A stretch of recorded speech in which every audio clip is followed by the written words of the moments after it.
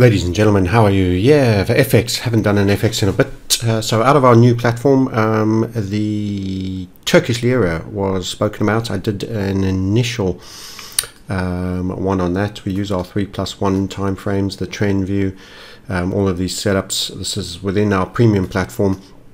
That was the pattern. Um, we can expand that. we took a lower uh, point for the point of break. Reason being it was a relative low to break. You'll learn more about that on a program.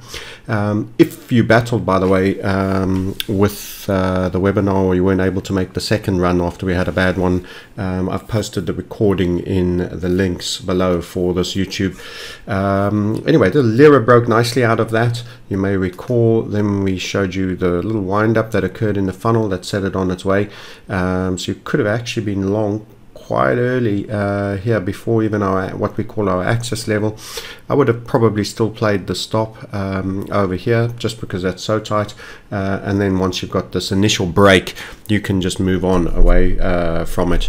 Um, so that's the different time frames right the way up to that. And then we updated that in what's now a WhatsApp chat uh, functionality.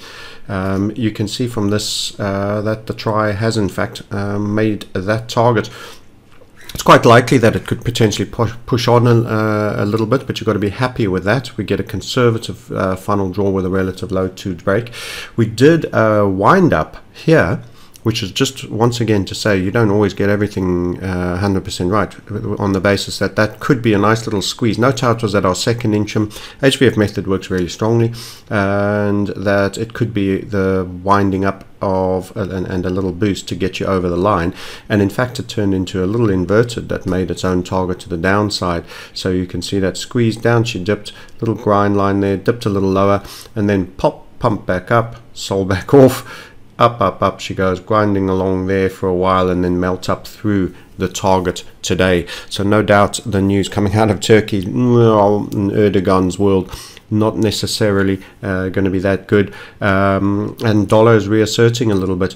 We are dollar bias bull uh, as well. So we have other setups on FX, and I'll be doing a non-farm payroll, two and a half hour hosting with my premium guys on a Friday, and you can um, all the premium chaps will be joining me when we'll be going through FX as well as crypto. Anyway, so that was just a bit of an ep epilogue there. Um, who knows? We'll see how much more it goes, but generally, it's never a bad thing to be selling into an explosive push like this because what happens next? It blows off a little bit, might go a little higher, and then you get a proper sell-off and a bit of progress decay, as we call it. Okay, that's uh, your update on USD Try. Um, next full webinar will be September the 4th. And if you were due to watch last night um, and had any problems, just let me know. Um, there is a reminder in the links below this video for the replay. Um, it'll just be for, for last night. Um, so that's the 1st of August 2018. People come into this clip after a certain time. Um, this will then become a stale link. Okay, bye for now and enjoy your weekends coming. And uh, we'll hopefully be checking in with you again soon on other aspects of the market.